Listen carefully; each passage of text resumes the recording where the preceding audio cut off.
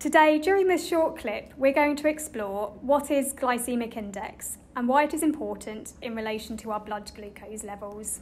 What is glycemic index? The glycemic index, or GI, ranks foods based on how quickly they cause a rise in blood sugar or blood glucose levels after eating. Lower GI foods are digested more slowly, hence your blood sugars will rise gradually. GI is usually described as high, medium or low. So how do we use GI? The GI value of a food is calculated when a food is eaten on its own. We generally eat food in combination with other foods.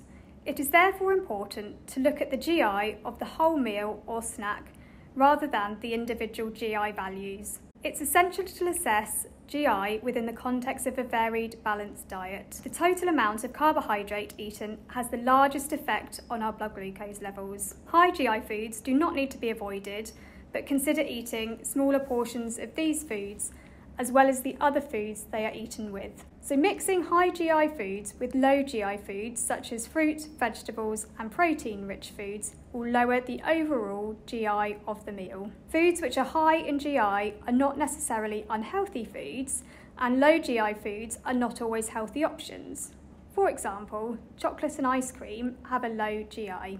Factors affecting glycemic index. Cooking and processing methods, which start the breakdown of the carbohydrate structure in foods. The ripeness of the fruit and certain vegetables, so the more ripe, the higher the GI the fruit becomes. Whole grains and high fibre foods act as a physical barrier to slow the absorption of carbohydrate.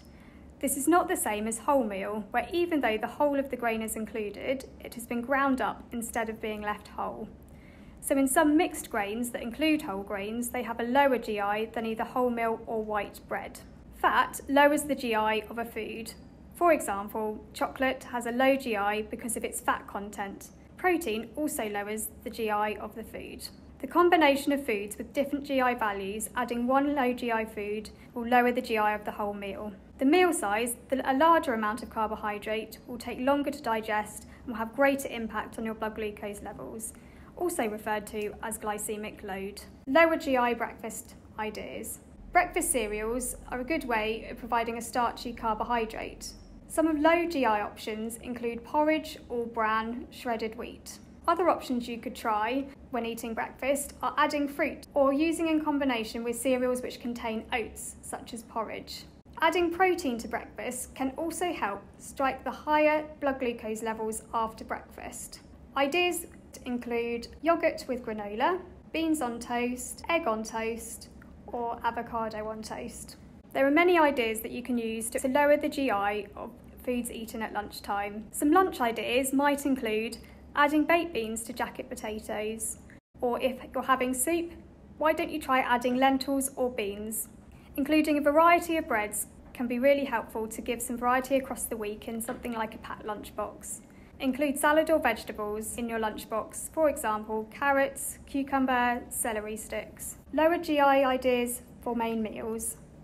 Examples of low GI options include new potatoes or sweet potatoes. You could even try cutting into wedges and adding spices or herbs such as paprika to vary the taste across the week. You could try whole wheat pasta and rice, basmati, long grain or brown rice. Adding beans, lentils or pulses to casseroles or soups and making sure you have a vegetable or salad as part of your meal. After your meal, you might want to think about having fruit or yogurt as part of your dessert.